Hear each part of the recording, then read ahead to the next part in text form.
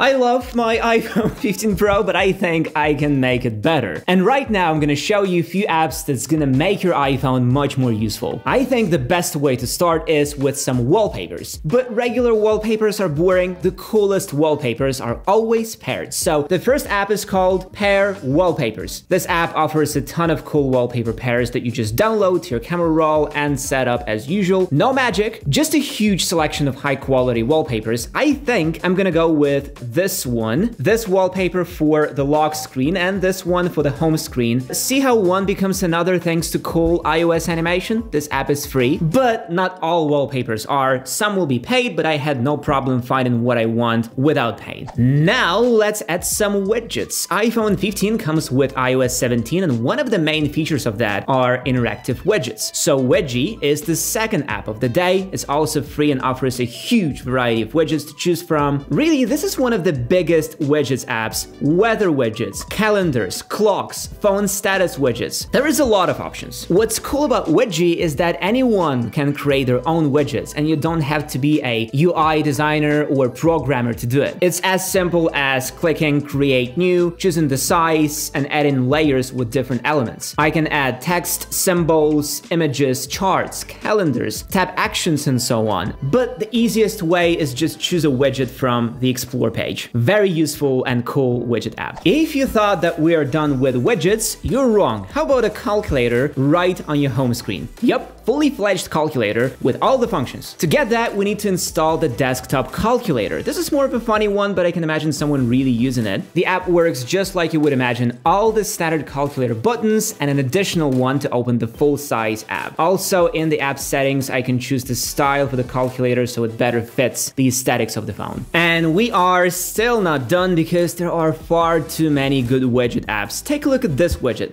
Cool, right? Looks nice, informative, and fits the aesthetic pretty nicely. You can find this widget in iScreen. iScreen is super cool, especially if you are looking for really creative and cute widgets for your home screen or the lock screen. iScreen offers all the typical widgets like clocks and calendars, as well as unusual looking ones. Look at this widget. It's a clock, but with one tap becomes a quick access to settings or to the health. If home screen widgets aren't enough, there is a huge selection of lock screen widgets. Those ones can display information about your phone, the battery status, funny animations, or even pets. I know this all looks a bit silly to me, but I can already see all the girls going crazy about the lock screen cats. And if all that is not enough, there are also widgets for the dynamic island. Those ones can launch apps from the island or just encourage you with funny text. And of course, you can have your own pet in the island with the mini game in the iScreen app itself. So send this video to your sister, girlfriend, or wife. They're gonna love this app.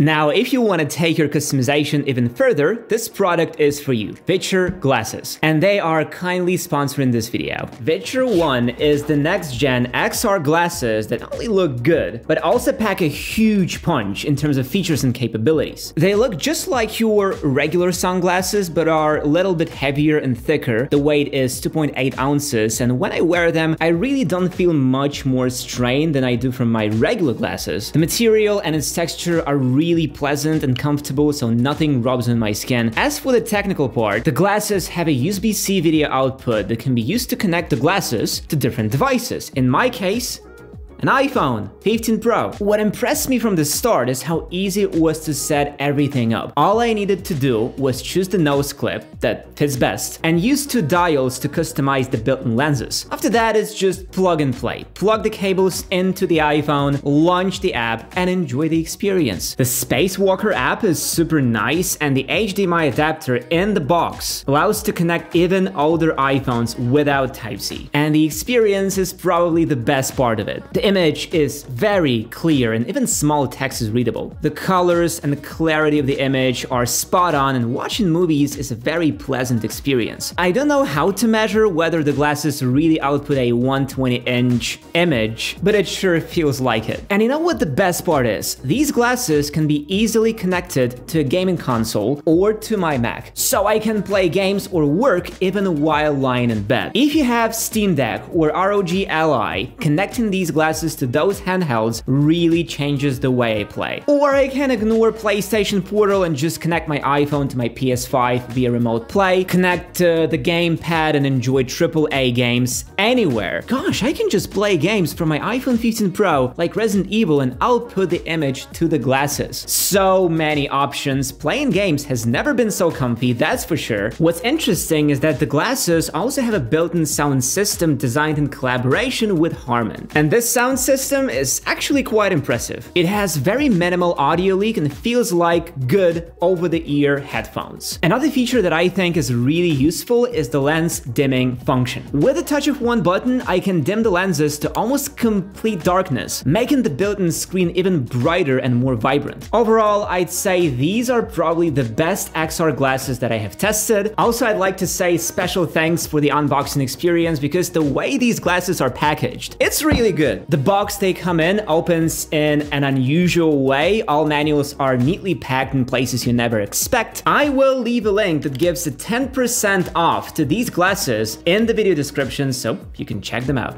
And now let's get back to the video.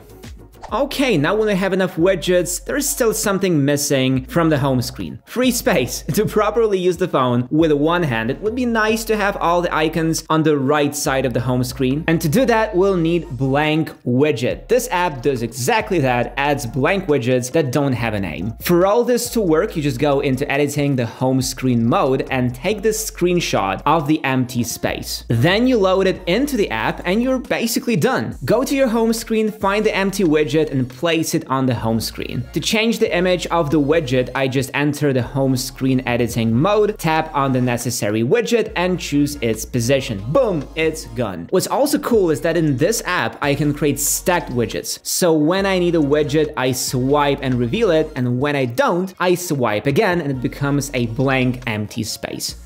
Pretty cool. Now, how about making that dynamic island a bit more useful? Apple has surely done a lot to make it useful and app developers started implementing it more, but I still feel that it lacks creativity. So what I think we should do is make it display a custom message for us at all times. To do that, I just need the app called Mirelist. Then in the app, I just click add reminder and enter the text. Once that's done, I just swipe the reminder to the left and boom, it's permanently stuck in the dynamic island. If it's a small text and you don't have anything else going on, the message will be displayed fully, but if there is something else using the island, then you'll have to long press on the island to see the message. I think it's a cool way to remind yourself of small things like uh, buying milk or liking this video. Reminding stuff is great, but there is one more area of life that many people can figure out. Meal planning and cooking. With Mealime, it becomes super easy to plan the diet, buy groceries, and even cook. This app is truly fantastic. Come come closer. So when I open the app, the first thing it asks are my allergies and food preferences. This will affect the suggested meals so that you always eat what you like and don't endanger yourself by occasional nuts in some recipes. After that, planning meals is as easy as just looking at different dishes, reading about them, and adding to the plan. Once I finish adding my meals, the app summarizes everything and creates a comprehensive shopping list. This way I can just buy food once a week and not worry about missing ingredients ingredients. For each meal, the app gives a list of ingredients needed and even a list of kitchenware, which is a nice little touch. As for the cooking recipes themselves, I can either look at the entire recipe or turn on step-by-step -step mode. The app will show me each step one after one, and if at any point I would need to start a timer, there will be a convenient button